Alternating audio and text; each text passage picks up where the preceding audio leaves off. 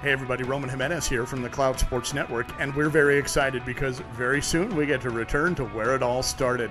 A little over a year ago, the folks at Asana took a huge gamble and brought us on to live stream the 2018 Asana Softball World Series in New Orleans, the Battle in the Bayou.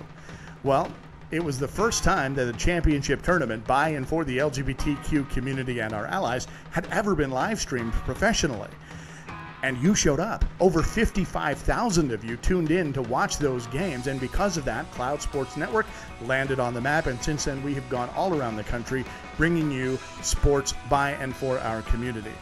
And now we get to go back to the 2019 Asana Softball World Series. This time in Long Beach, California, it is the Battle for the Beach.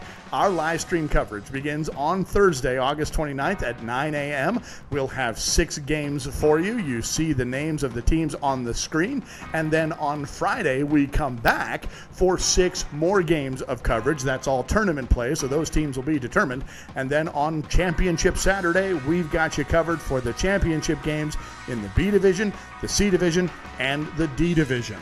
And then our coverage will continue for the trophy presentation, live coverage from the closing party. That starts at 7 p.m. Now, to watch it all, all you got to do is go to Facebook and check out Asana Softball World Series, or go to the YouTube channel. You can watch it there too, Asana Softball. Coverage is free. All you got to do is click on a link, and you'll be able to watch your team, root on your favorite player, cheer for your favorite team, or even argue with the umpire. Because we'll have four cameras on the field. We'll have professional commentary. We'll have on screen graphics. We'll even have an instant replay for you this year. We're very excited. We hope you tune in, and we will see you on the screen.